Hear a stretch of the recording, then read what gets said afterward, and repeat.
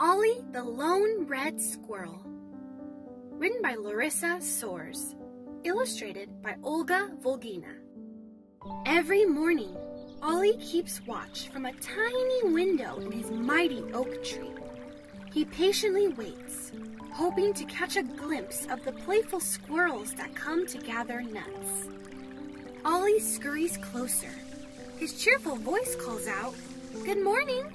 May I join in your scampering and gathering?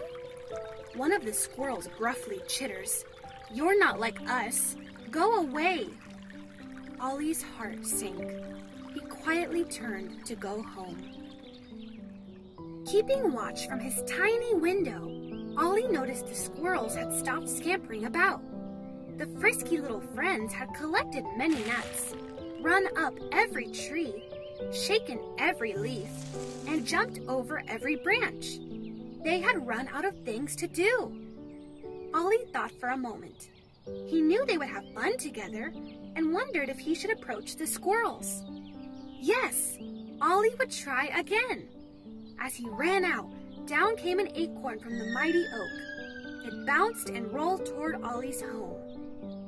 The other squirrels saw Olly and quickly ran away. They scurried up a tree and looked back to laugh at him.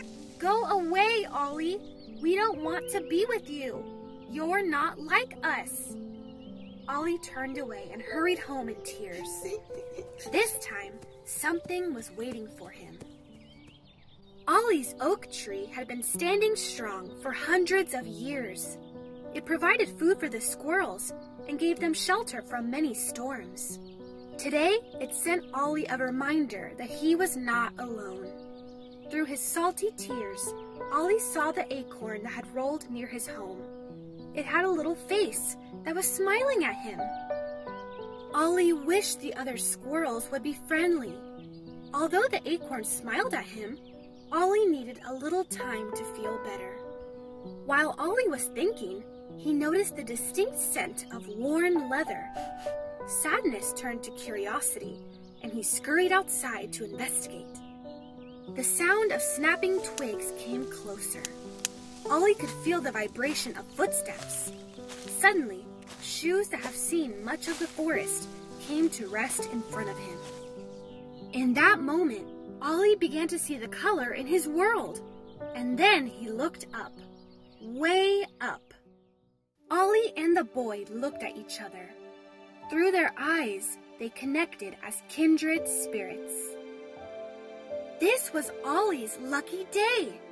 The forest had sent gifts to heal his lonely heart. The other squirrels knew they had been unkind and hung their little heads. They were sorry for laughing at Olly and didn't know what to do. Olly saw that the squirrels felt bad, but he knew how to help.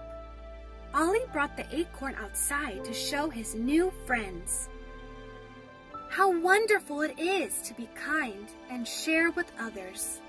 Olly could feel the magic in his smile as he held the acorn. His heart was truly happy. Olly's world, which was always dark and sad, revealed its true colors.